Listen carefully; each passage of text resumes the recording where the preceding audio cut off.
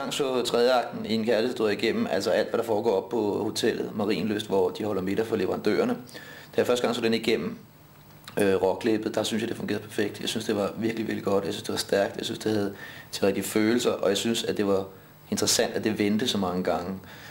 Øh, den version, jeg så, er ikke den version, I ser i biografen. Øh, inde i den her tredje akt, der vender, øh, vender ligesom, skal vi blive sammen, eller skal vi gå for hinanden, vender hele tiden. Øh, og øh, i sidste ende, da vi efterhånden nærmede slutningen af klipprocessen, der viste sig at være et problem lige pludselig. Fordi øh, det bidrog sådan til en slutning, der bare blev ved og ved. Øh, der er to ting, der er enormt svære i en film. Det er at starten, begynde en film er svært, og at slutte en film er svært.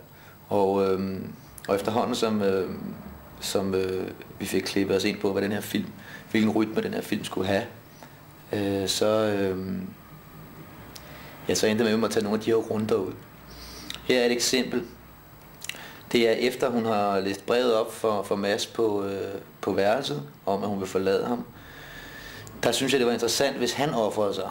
Altså nu har hun ligesom offret sig, og nu har hun været et offer igennem hele historien, og derfor ville jeg synes, det var interessant, hvis han gjorde det. Øh, den eneste måde, han kan ofre sig på, det er på et praktisk plan. Det er ved at give noget af det, han, øh, han, sådan, han selv øh, sætter højt, nemlig sit job, eller sin karriere, sin penge, sin bil, sin, han den hele den her pragmatiske forståelse af tilværelsen, han har.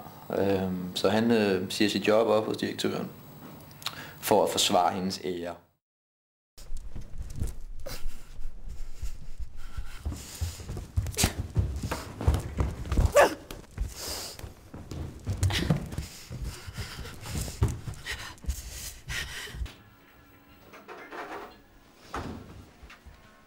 Har du bedt min kone om at forlade selskabet?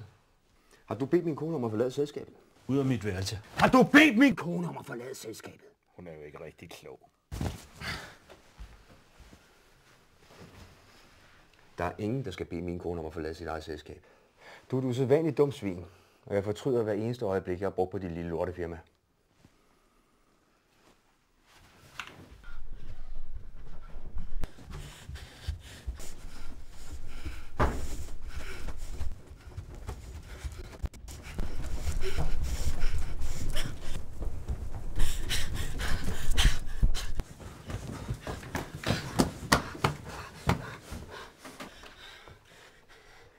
Værelse 400.